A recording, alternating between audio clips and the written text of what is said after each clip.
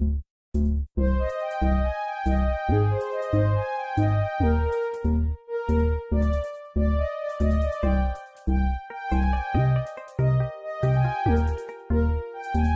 दोस्तों को मेरा नमस्कार और आपके अपने YouTube channel Abhay Singh fearless world में स्वागत है। मैं हूँ आपका फ्रेंड अभय और अभी तक हम लोगों ने आई के सारे लेक्चर्स जो कि न्यू सिलेबस बेस्ड है, सारे लेक्चर्स को हम लोग देख रहे हैं, जिसमें अभी हम लोग पहुँचे हैं एलिमेंट सेवन, जिसका सब एलिमेंट है सेवन पॉइंट थ्री, यानी थर्ड उसका सब एलिमेंट है, और हम लोग ऐसे पार्ट बाई पार्ट हर एक चीज़ को जान रहे हैं।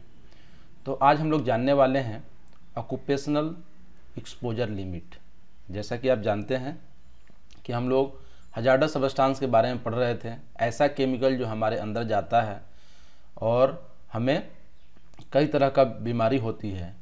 तो इसकी क्या लिमिट होनी चाहिए? तो इसमें हम लोग जानेंगे ऑक्यूपेशनल ऑक्यूपेशनल मीन्स क्या?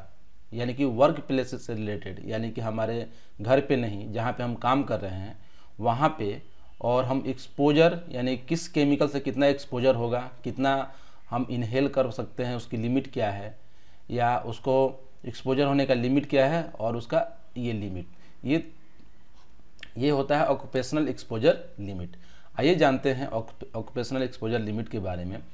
जैसा कि हम जानते हैं कि ये हर देश में अलग अलग वेरी करता है। इसका कोई एक फिक्स नाम नहीं है।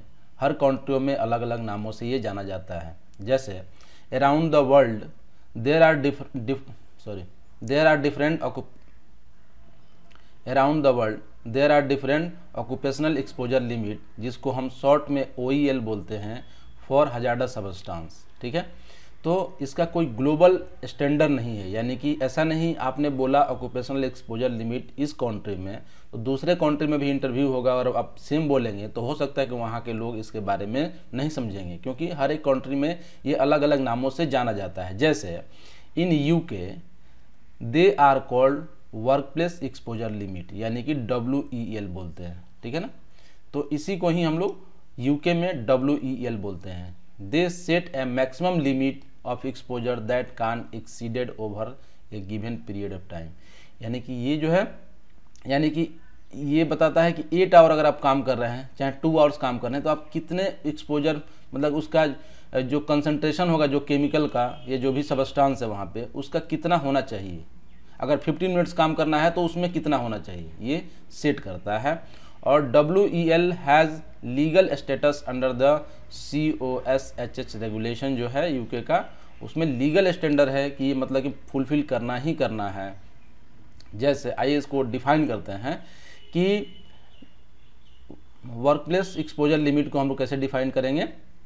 The maximum concentration of an airborne यानी कि जो हवा में है ना एयरबॉर्न बोलते हैं, हवा में जो भी सबस्टांस है average over a reference period time average नापा जाता है, एक रेफरेंस पीरियड ऑफ़ टाइम जैसे शॉर्ट टर्म के लिए 15 मिनट्स और एक आदमी कितने देर काम करता है? सॉरी एक आदमी काम करता है एट आवर्स तो एट आवर्स के लिए भी हम कर सकते हैं, ठीक है? तो रेफरेंस पीरियड ऑफ़ टाइम इसीलिए बोल रहा है क्योंकि यहाँ पे कोई शॉर्ट टर्म लॉन्ग टर्म कुछ भी डिसाइड नहीं हो रहा है।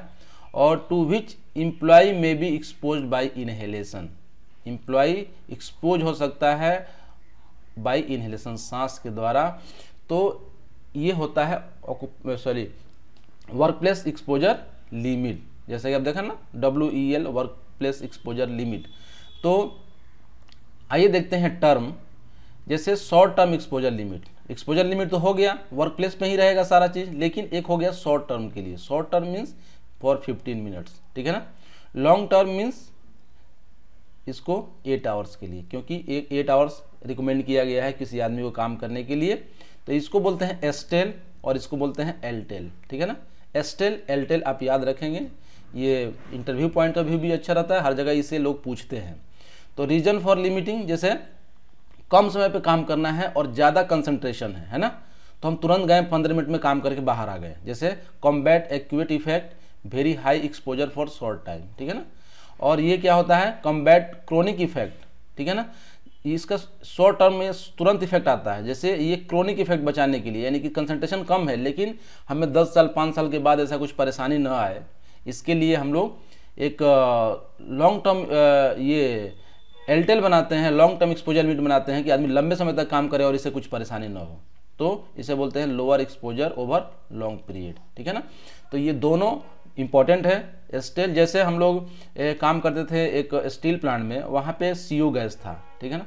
सीओ गैस मैं प्रैक्टिकल बता रहा हूँ। तो वहाँ पे 50 ppm जो था, वो हम काम कर सकते हैं। फिफ्टी ppm जो है एट आवर्स के लिए था एलटेल और और एस्टेल था उसका 250 250 M M sorry to 250 ppm ppm में मेजर करते हैं इसको।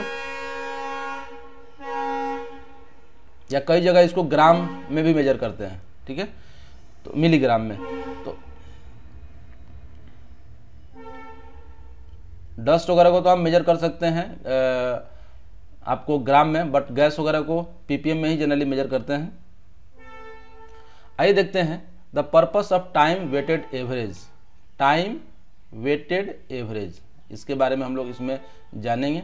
यानी कि a worker might be expose to different level of hazardous substance ठीक है? Throughout the working day आप जानते हैं कि जैसे अगर एट आवर काम कर रहा है कोई आदमी एट आवर्स उसकी टाइम है तो कभी ज़्यादा कंसंट्रेशन कभी ज़्यादा, और कभी कम, कभी ज़्यादा, कभी कम, कभी ज़्यादा, कभी नहीं, कभी ज़्यादा, कभी कम, ठीक है? लंच करने चला गया मतलब इस तरह ग्राफ बनेगा, ऊपर नीचे। तो कैसे मालूम चलेगा कि ये कितना इसको एक्सपोज हुआ? कितना गैस अंदर गया या कितना डस्ट अंदर गया या कितना कोई हजारा सबस्टांस अंदर गया? तो इसका हम लोग क्या करते हैं? एवरेज निकाल लेते हैं, ठीक है ना? तो ये होता है a worker a time weighted average और still prevent them being expose to harmful level of substance over a short period of time where this would cause acute effect यानी कि आप जानते हैं कि स्टेल जो है केवल 15 मिनट्स के लिए ही होता है और इसको एक्यूट इफ़ेक्ट न आए, इसके लिए ये प्रिवेंट करता है। यानी तुरंत इफ़ेक्ट न आए, लंबे समय तक इफ़ेक्ट हो सकता है।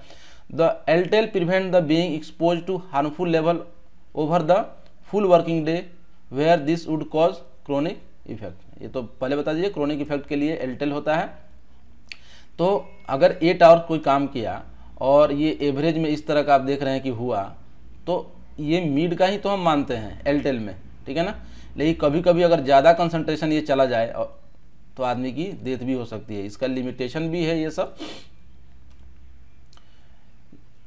लिमिटेशन ऑफ़ एक्सपोजर लिमिट मैंने, आइए देखते हैं कि क्या लिमिटेशन है इसका। तो लिमिटेशन ये है कि being below a limit does not prove it is safe ठीक है ना? ये मैंने बताया कि अगर लिमिट में है तो एक हो सकता है कि इस खास में ज़्यादा कंसंट्रेशन भी मिला हो, ठीक है ना?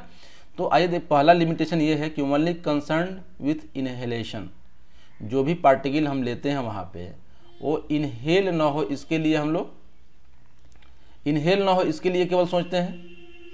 हो सकता है कि ये दूसरे रास्ते से भी शरीर के अंदर जा रहा हो एब्जॉर्बन के थ्रू जा रहा हो, हमारे, हम उसको मुँह के थ्रू हमारे अंदर जा रहा हो इंजेक्शन के थ्रू तो ये सब चीज़ है जो कि ये केवल इनहेलेशन को कंसिडर करता है बाकी को नहीं करता ये एक इसका लिमिटेशन हो गया। No account of individual sensitivity और सस्पेक्टिबिलिटी आप देखे होंगे किसी केमिकल से किसी को ज़्यादा प्रॉब्लम होता है। मतलब कि ज़्यादा उसको आ, आ, वो क्या बोलते हैं उसको ईचिंग होने लगेगा या कि ज़्यादा सेंसिटिव होता है है ना? और कोई कोई आदमी सेंसिटिव नहीं होता है तो जो सेंसिटिव हो उसको ज़्यादा प्रॉब्लम होगा। तो ये इंडिविजुअल के बारे में नहीं ये एक जनरल आइडिया देता है और एक जनरल बारे, बारे में बताता है। नो अकाउंट ऑफ़ सिनर्जेटिक और कंबाइंड इफ़ेक्ट यानी कि मान लेते हैं एक डस्ट है वहाँ पर और कोई दूसरा भी हज़ार सावस्थान है दोनों हज़ार सावस्थान एक साथ हैं वहाँ पे। मान लेते हैं सीओ गैस भी है और H two H two S भी है ठीक है ना? दोनों खतरनाक है। और दोनों का जो कंबाइंड इफ़ेक्ट है उसके बारे में ये नहीं बताता है। ये केवल सिंगल सिंगल बताएगा कि एच टू एस इतना रहेगा तो आप काम कर सकते हैं सी ओ इतना रहे तो काम कर सकते हैं। लेकिन ये कंबाइंड इफ़ेक्ट नहीं बताता है। तो ये इसका लिमिटेशन है।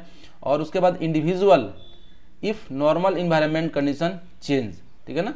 सॉरी इनवैलिड और अगर वहाँ पे नॉर्मल इन्वायरमेंट हो, मान लेते हैं कि ये खास टेम्परेचर में मेजर किया गया हो हो सकता है वहाँ ज़्यादा टेम्परेचर उस पर ज़्यादा इफ़ेक्ट आए इस तरह का। तो उस इफ़ेक्ट में यह हो सकता है कि यहाँ ज़्यादा ह्यूमिडिटी हो वहाँ पे, उसमें ज़्यादा कोई इफ़ेक्ट करता हो। तो इस तरह का कंडीशन वो नहीं बताता है। और some limits some limits do not consider all possible health effect of a substance और हर तरह के हेल्थ इफ़ेक्ट के बारे में ये नहीं बताता है। तो ये इसका लिमिटेशन है, क्योंकि उसके सारा चीज़ पता भी नहीं रहता है। कभी कभी ऐसा भी होता है किसी किसी केमिकल के बारे में। और इंटरनेशनल स्टैंडर्ड आइए देखते हैं। इसका इंटरनेशनल स्टैंडर्ड यूके में मैंने बताया कि इसको बोलते हैं वर्क प्लेस एक्सपोजर लिमिट ठीक है ना? यूरोपियन यूनियन इसको बोलता है इंडिकेटिव लिमिट वैल्यू ठीक है? यूएस में इसको बोला जाता है अमेरिकन कॉन्फ्रेंस ऑफ़ गवर्नमेंट जो ए है, वो कहता है थ्रेस होल्ड लिमिट वैल्यू ये सब एक ही चीज़ है। नेशनल इंस्टीट्यूट एन बताता है यूएस में कि occupational sorry recommended exposure limit RELs ठीक है ना? आर अमेरिकन इंस्टीट्यूट यानी कि एआईएचए बताता है वो कहता है इसको environmental exposure limit work place environmental exposure limit W E L ठीक है? Occupational safety and health administration OSHA इसको बोलता है labour premise permissible exposure limit P L ठीक है? तो अलग अलग जगहों का ये अलग अलग नाम है ठीक है? तो there is no global standardisation हर जगह ये अलग अलग नाम से जाना जाता है कोई एक, एक इंटरनेशनल स्टैंडर्ड नहीं है जो हर जगह एक ही नाम से जाना जाता हो। तो आप कंफ्यूज नहीं हुए आप जब इंटरव्यू में कुछ ऐसा क्वेश्चन पूछे तो आप बता सकते हैं कि इसका कोई ग्लोबल स्टैंडर्डाइजेशन नहीं है इसलिए इसको हर देश में अलग अलग नामों से जाना जाता है। बट मीनिंग इज़ सेम ये वर्क प्लेस एक्सपोजर लिमिट है वही सेम इंडिकेटिव लिमिट वैल्यू है वही जो है ना और, भी जो रिकमेंडेड एक्सपोजर भी सबका मतलब सेम है। आप डिफिनेशन बता सकते हैं।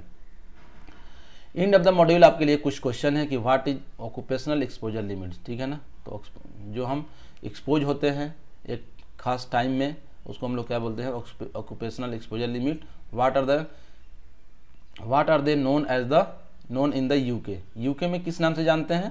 तो मैंने बताया ना यूके में इसको वर्क प्लेस एक्सपोजर लिमिट के नाम से जानते हैं। और what what is the difference between eight hour ठीक है ना? टाइम वेटेड एवरेज और फिफ्टीन मिनट्स एस्टेल यानी कि शॉर्ट टर्म एक्सपोजर लिमिट बता दिए, ये एट आवर्स के लिए जो होता है, ये कम कंसनट्रेशन रहता है और ये क्रोनिक डिज़ीज़ के बारे में देखता है और 15 मिनट्स जो है, ये 15 मिनट्स के लिए रहता है और ये ज़्यादा एक्सपोजर होता है इसमें, ज़्यादा कंसनट्रेशन हम इनहेल करते हैं और इसका केवल एक्यूट इफ़ेक्ट देखा जाता है मतलब तुरंत जो दिखने वाला है ना लॉन्ग शॉर्ट टर्म के लिए इफ़ेक्ट उसके बारे में इसमें हम लोग एक्यूट इफ़ेक्ट नहीं सॉरी जो हमारा शॉर्ट टर्म के लिए इफ़ेक्ट होता है उसके बारे में हम इस, इसमें जानते हैं। इसका आंसर भी है मेरे पास। आप चाहें तो यहाँ देख सकते हैं। ठीक है? Maximum concentration of air borne substance है ना यहाँ पे। एट आवर्स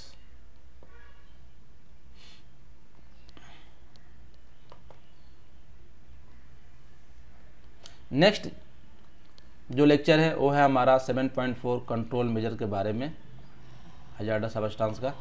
तो आई होप आप हमारे अगर चैनल पर नए हैं तो सब्सक्राइब करें और लाइक तो बनता है डेली लाइक करें। Thanks thanks for watching